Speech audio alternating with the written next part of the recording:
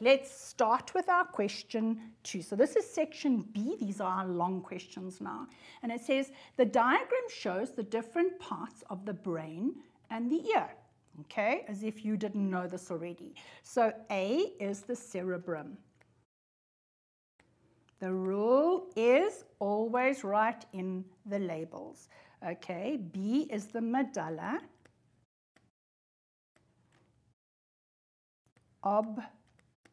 Oblongata. And remember, your medulla oblongata regulates all your vital uh, um, functions in your body. Then C is the cerebellum. Okay, D, well, they're round structures. It's not actually drawn correctly here, but anyway, we'll forgive them for the diagram. Um, those are your semi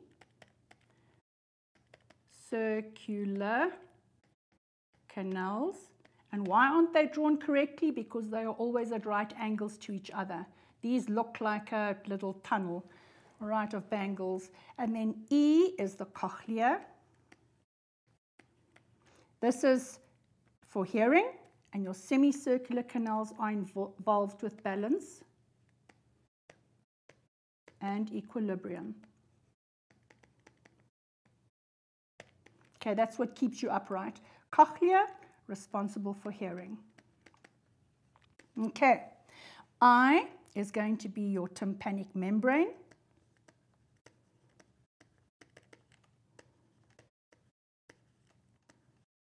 And another name for the tympanic membrane, membrane is the eardrum.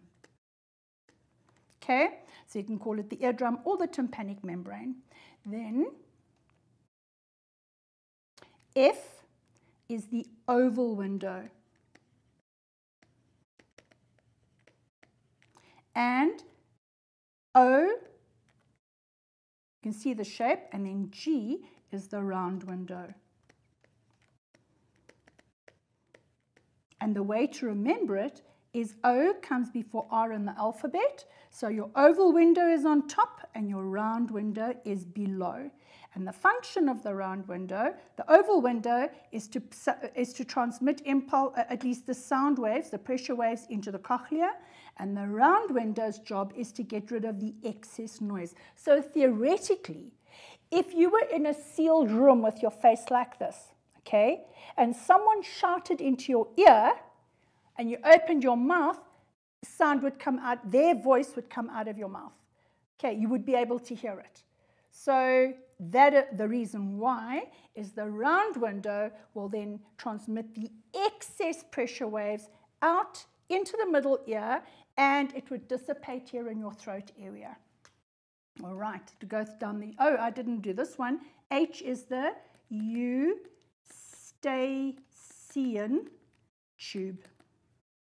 And in little ones, in, in babies and toddlers, this eustachian tube is very short. And when it is short, that end, they end up getting lots of infections. And those infections cause issues because the middle ear blocks up. And if the middle ear blocks up, they can't hear properly. So we put grommets in, which is something we went through just now. So I'm going to take that out. Okay, now identify part A. Um, A, if I remember correctly, was the cerebrum. Okay, and it doesn't matter if you're now writing it twice. It doesn't matter. You need to do this part so that you can understand what it is you're going to be answering. B is the medulla. And you can't just call it the medulla. It's the medulla oblongata.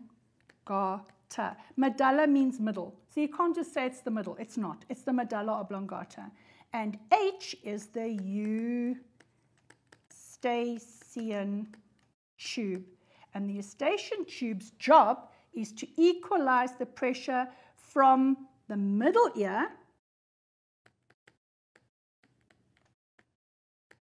okay, and the outer ear. Because if that pressure here isn't the same as the pressure here, it's going to damage this eardrum or tympanic membrane, and we don't want that.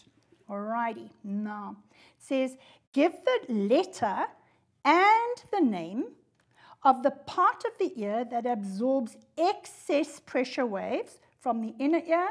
Well, I told you just now, it is the round window. Sound waves go in that way to the cochlea and the excess comes out here. And what it does is it actually prevents an echo. That's why we don't hear echoes. All right, easy peasy. Um, oh, hang on. I've still got more questions here. Okay. Then, name the receptors found in part E. So let's just check part E is the cochlea. So let me get another color here. So the receptors in part E, which is the cochlea,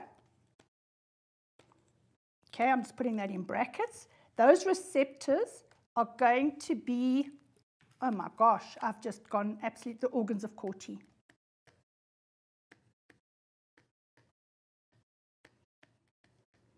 Okay, Corti written with a capital letter, and these are fine little hair cells.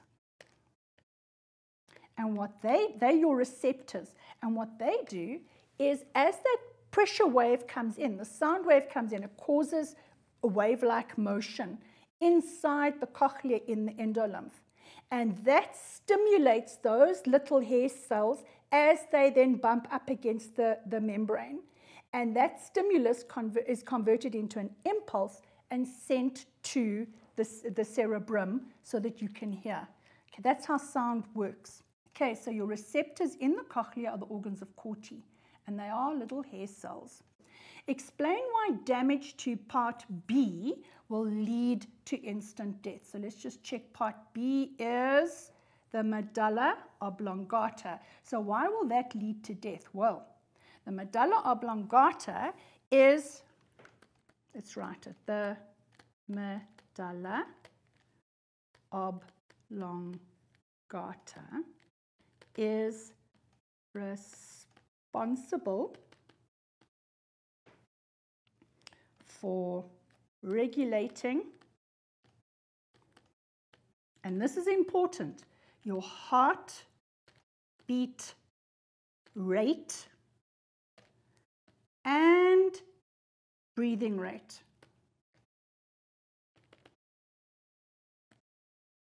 Your heartbeat and your breathing rate are always connected. Think about when you do exercise. As you exercise, your heartbeat rate increases and your breathing rate increases because you need to get more oxygen in and get more carbon dioxide out. Okay, because that's part of the process in your body, which you would have done last year, of cellular respiration to produce energy. So, and when you slow down, when you're now finished exercising, what happens? Your heartbeat rate and your breathing rate now needs to slow down. All of that is controlled by the medulla oblongata. Okay, so your breathing rate and your heartbeat rate. Okay, so that's what it does. So when damaged,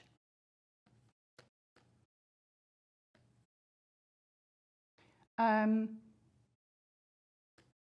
there will be no breathing rate, breathing or heartbeat.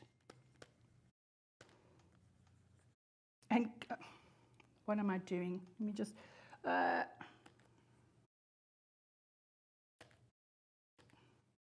heartbeat causing death. I mean, clearly, if you're not breathing and your heart isn't working, you will die. Okay, so damage to the medulla oblongata will cause death because it controls your breathing rate and your heartbeat rate. If you damage it, no breathing rate and no heartbeat rate, you're dead. Alrighty, then describe how C re responds to impulses received from D. So let's just check how impulses from C, which is the cerebellum, respond to D, okay? Uh, Received from D. Okay, so how would that work? Um, easy. At the end of the day, what are we looking at? We're looking at the cerebellum.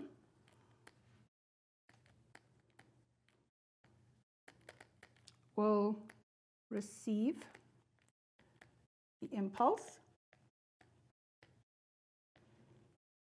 from D and respond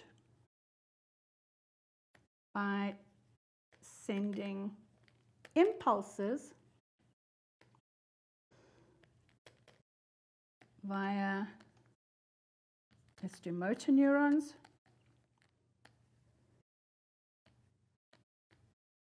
okay to the skeletal muscles okay and when it gets to the skeletal muscles to correct balance and equilibrium because that is the function of, your, of, of the semicircular canals. As you are falling forward or you're falling sideways, you are no longer upright.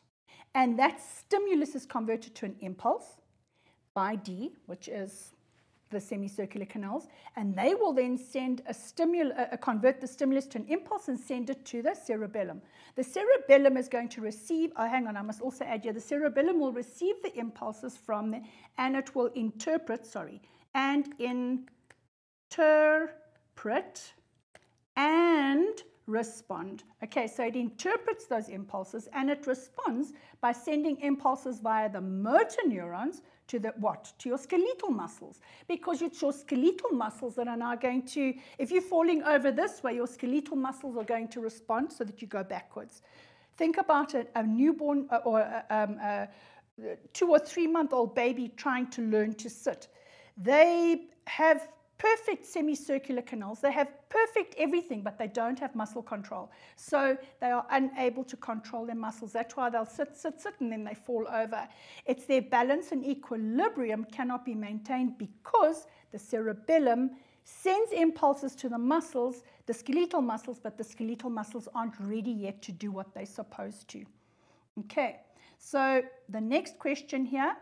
In older people, Part F of the ear may harden. So let's just quickly check what part F was. I can't remember.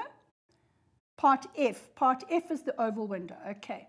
So in older people, part F is going to harden.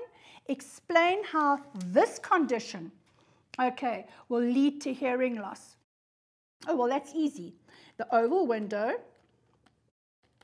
which is part F. So the oval window will no longer um, vibrate freely. Okay, or vibrate easily. Because remember, that's the job of the oval window. It takes the, the, the, the pressure waves from the sound waves and the hammer, the anvil, and the stirrup vibrate against the oval window, which then vibrates.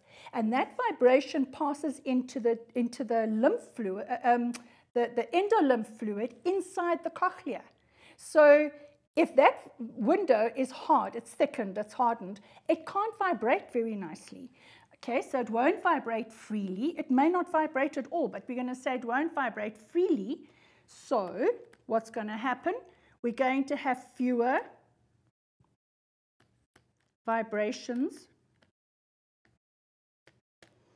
um, will be carried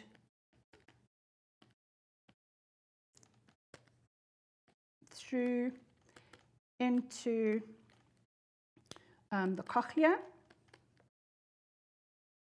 Cochlea, oh, for heaven's sake. You see, when they tell me I'm, I'm running out of time and I start to panic, and then I try to write faster into the cochlea. And what happens then? So, the organs of Corti are less stimulated. Okay, and if they are less stimulated, what's going to happen then? We're going to have, therefore, less impulses are sent to the cerebrum You can also say instead of sent, you can say transmitted to the cerebrum, and therefore we will have it resulting result in loss of hearing. And if it's extreme, the person will be deaf. There will be no, they won't be able to hear because it just will not vibrate at all. Remember, everything in the ear works with vibrations. All right, it's vibrations, it's movement, it's move, pressure waves.